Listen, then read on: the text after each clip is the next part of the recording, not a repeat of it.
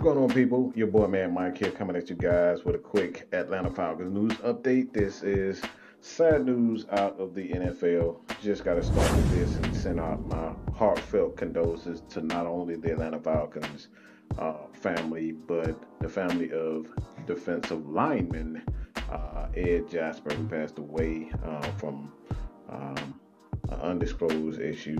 Um, but just a bit. He played about nine years um, for the Atlanta, uh, nine years in the NFL, and you know he was more of a one of those guys that was defensive. You know, he was a good run stuffer. Um, had a few sacks here and there, and he was a vital part of you know the Falcons' defense for quite some time. Uh, like I said, he was a quality defensive lineman, had a solid NFL career. So just a heartfelt uh, condolences to his family uh, and the organization of the Atlanta Falcons, obviously. Uh, but um, this is big news out of the NFL. Uh, the Falcons are getting another defensive tackle. Um, they're signing Texans defensive tackle Vincent Taylor. Uh, this is a great sign for the Atlanta Falcons. When you talk about a guy that has a motor, when you talk about a guy who is known to get after the quarterback and have another piece, uh, a veteran piece, um, to go along with Grady Jarrett. You got guys like Ta'Quon Graham. Um, you have Marlon Davidson. A lot of these guys are on the team at the current time. And when you talk about Vincent Taylor, man, um, when you look at the tape on him, this guy's a go-getter.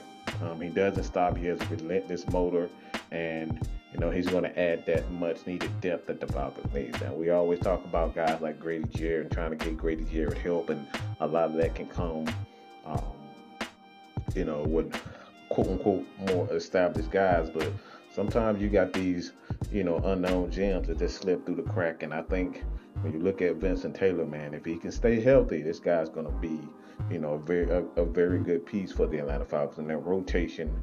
Um, and, and, improving that defensive line. You got guys like Ta'Quon Graham, Marlon Davidson, now Vincent Taylor to go with Grady Jarrett, and quite possibly um, whomever the pick is coming in um, this season uh, after the draft. So, hey man, I, I, love this pickup for the Atlanta Falcons. It adds that much needed depth that the Falcons need. So let me know what you guys think about this man. Again, Vincent Taylor. Um, I think this is a great pickup for the Atlanta Falcons. Solid guy. If you can keep him healthy, the Falcons have a solid rotational guy to go along with Grady Jarrett. Again, he's a pass rush specialist for the most part. A three tech. I'm a guy that has a lot of similar qualities when you talk about the defensive tackle position for the Atlanta Falcons. You know, um, like a Grady Jarrett. These guys are quick, they get after it, and they're pressure guys. Relentless. He keeps going. So let me know what you guys think about this. Continue to support your boy here, Mad Mike Sports. This has been another Atlanta Falcons update. Atlanta Falcons news all day, every day.